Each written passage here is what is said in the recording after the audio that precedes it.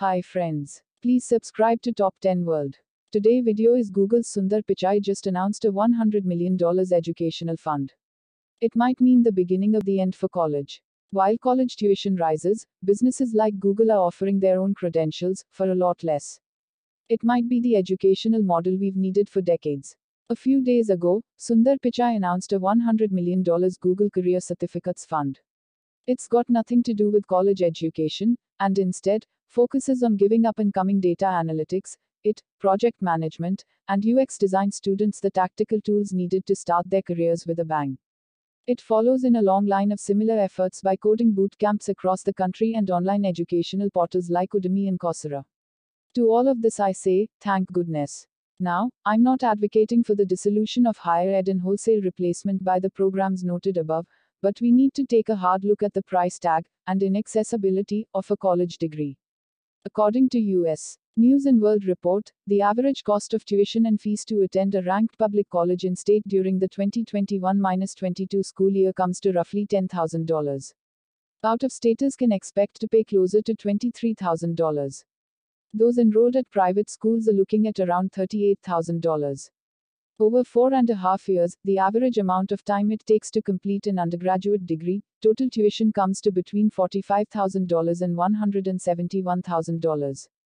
Meanwhile, starting salaries are mostly in the $50,000 range, much of which is eaten up by housing, life essentials, and student loan payments. That doesn't leave much room to get ahead financially. Compare this to Google professional certificates, highly regarded in the tech field, which run around $230 or so per course. For many, the choice is a no brainer.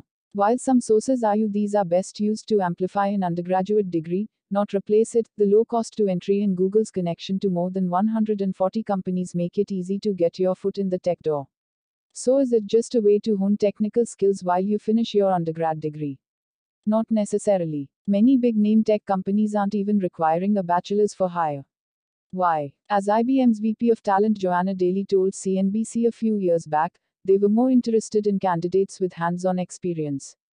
Daly isn't alone. Elon Musk has famously said that applicants don't need a college degree to work at Tesla, he looks for ability and a track record of achievement. Others, like former CEO Daniel Schwartz of Restaurant Brands International, parent company of Burger King, say he's most interested in people willing and able to learn. Companies have two roles to play in education. The first is changing hiring strategy so the door is open to those with potential but who may not have the funds to subsidize their own degrees. Financial support for completing that degree after hire goes a long way, too. But you can also shape the educational world yourself. If you have the expertise and resources within your company, you can offer training and development that allow under indexed talent to enter the workforce with key skills. If you give them that foundation, you also engender loyalty, they will more likely stick around to help build your company. Lay the groundwork now. Start small with seminars, labs, field training. Begin to shape cohesive programs that demonstrate competency in important skills. As you do, keep the door open to those who are willing to learn, who have a record of achievement, and the desire to succeed. Whatever the course of higher education, your efforts to upskill talent can only empower, uplift, and support those who want to advance their careers without forcing them to pile on debt.